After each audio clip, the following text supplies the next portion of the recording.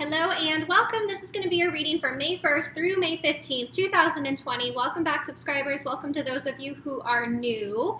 I so appreciate your guys' likes, subscribes, and comments. I just, it amazes me how active you guys are on the channel and how much it's grown. So just thank you from the bottom of my heart for being here. Um, for those of you who don't know, I am a master energy therapist and I specialize in distance energy healing and therapy. So it doesn't matter where you live. I have clients all around the globe at this point, which is really amazing.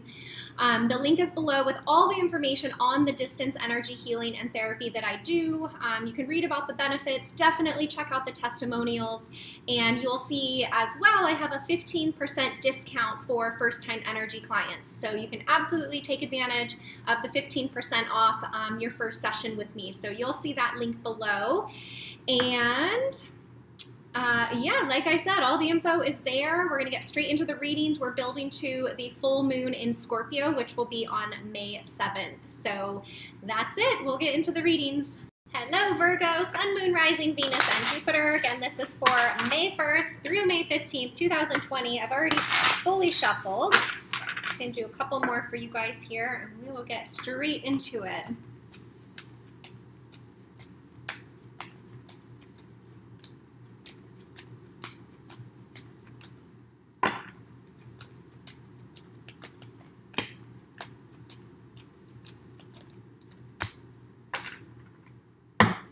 Okay, Virgo, starting out with the Tower card. Sorry. but the Tower card is, to me, it's always like a, an aha moment, an epiphany, a realization. I mean, something is definitely going to shake you a little bit as far as your journey, maybe what you want, what your thinking has been, maybe patterns that you've been in. Something is coming to kind of a wake up here for you. And it's interesting, you know, to be the first of May and to have this energy kind of just like, yeah, I feel like you're going to realize or learn something here that's going to surprise you or shock you. So this could be something within yourself or this could be with somebody that you're dealing with because the next two cards out here, I've got the Queen of Swords and I've got the Four of Wands. So you could be dealing with an air sign, uh, Queen of Swords, so Libra, Gemini, or Aquarius. But it's interesting because the Queen of Swords here is reaching towards the Four of Wands, and the Queen of Swords also brings a second chance here. So, interesting. You could be having a realization or an aha moment or an epiphany about maybe this person and wanting to try things again. Maybe you've realized a pattern that just isn't serving you anymore and you want, you know, a fresh start. You want something serious. Um, very interesting because I just feel with this Queen of Swords reaching towards the Four of Wands, I mean, this is commitment, this is stability, this is marriage to me, the Four of Wands is kind of like having it all. It's a very balanced relationship. You can see it's really open to the sky, which to me is like open to possibilities and just so much beautiful energy. There's so much yellow and brightness here. Interesting. Okay, let me get more into the reading here and see what else is there.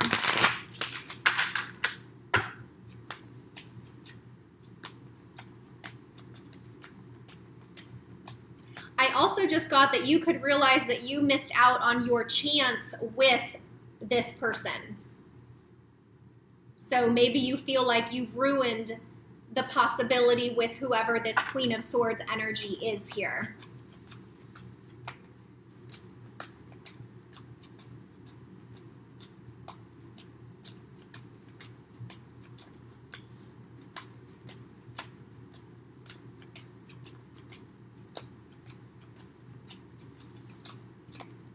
Woo. Whoa. Okay. We got four. Interesting. Okay. Next up, we've got the Justice card. So, Virgo, I really feel like you're going to want to come in and make things right.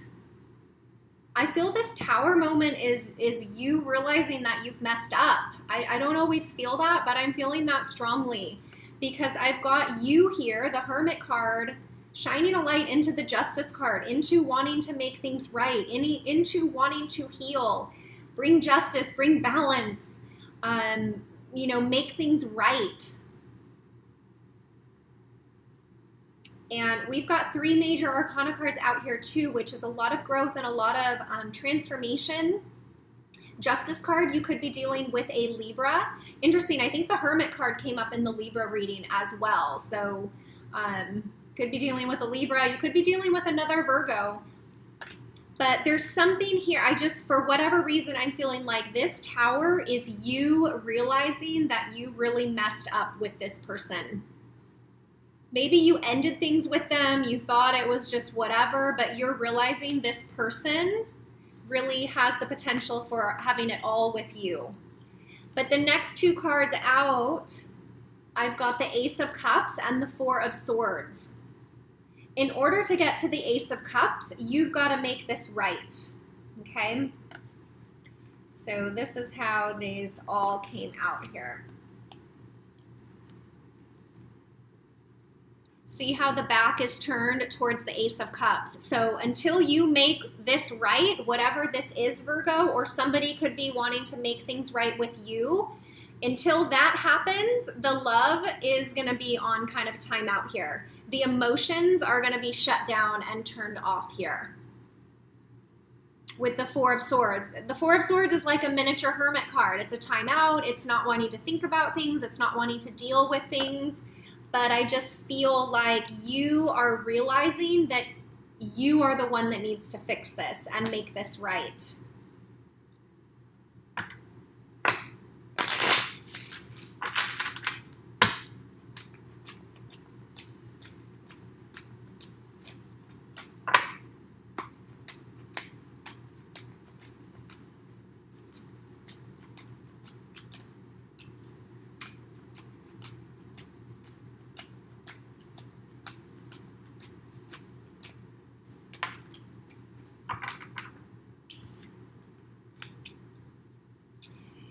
Okay, next up, Ace of Pentacles. So this is the offer.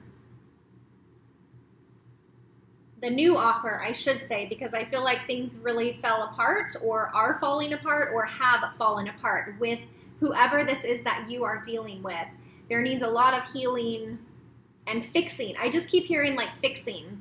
But with the Ace of Pentacles, I feel like you still want to offer this. I mean, you've got two aces here.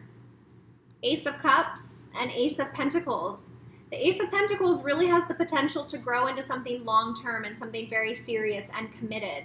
Same with the Ace of Cups, it's like emotional fulfillment. It's true love um, with the Ace of Cups here. But it's interesting because the last two cards out Two of Pentacles, Two of Swords. I feel okay, the, the decision is yours, Virgo. This person that you're dealing with may have just turned their back, or yeah, because the back is turned towards the tower. So this person that you're dealing with may have already let this go. But it really, two twos like this, and the two twos that are, look, a little ungrounded, unstable, and unwilling to see here, you're going to have to make a decision, Virgo. I feel like I need to pull a couple more cards because to end on the indecision.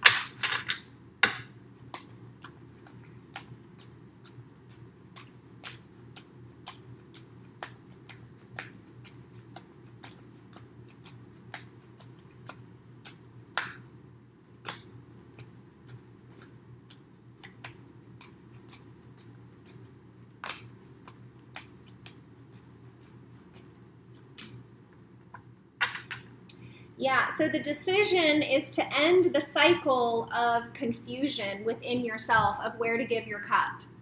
So to clarify the two twos, I've got the death, the seven of cups, and the queen of cups.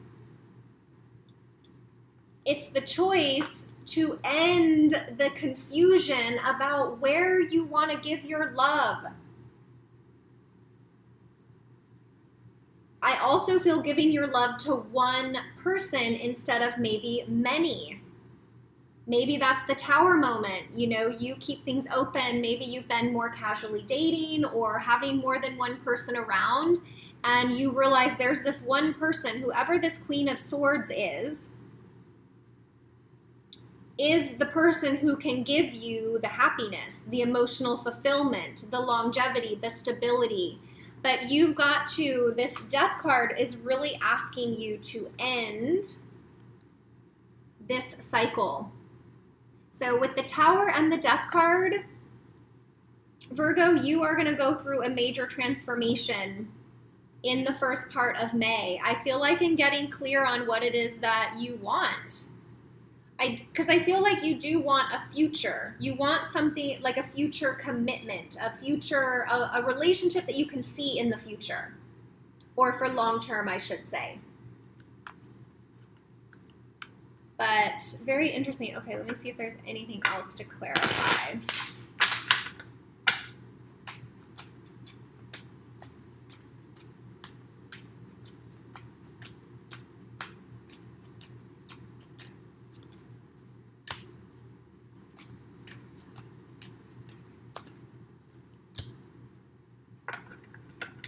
Okay, so in clarifying the Tower card, I've got the Knight of Cups and the Empress card.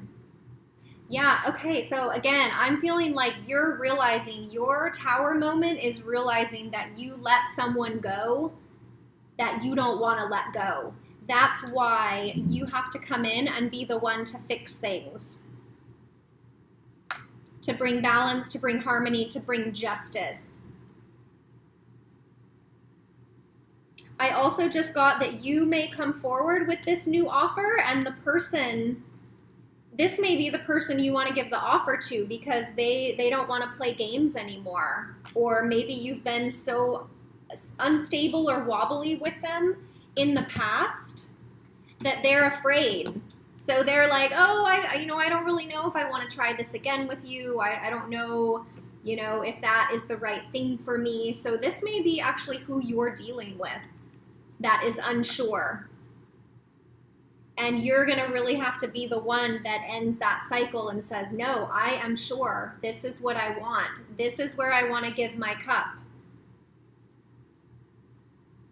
So, I feel the big question, Virgo, will you fix this? I think that's what I'm going to name your video. Will you fix this relationship? Because whoever this person is, they're still on your mind whether you try to sweep it under the rug, push it aside, or not, it's there.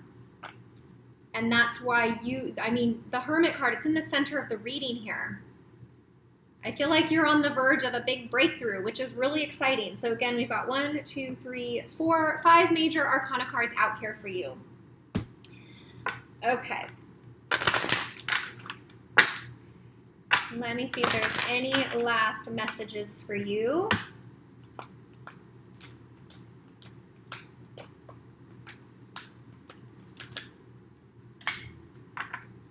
All right, we've got two that came out here. Interesting. So I've got children and healing.